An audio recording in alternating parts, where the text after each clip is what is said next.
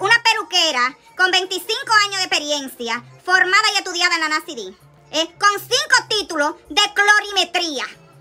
¿Oíste? Eh, y tengo 25 años alisando cabello y moño malo y no se me ha caído ni un moño.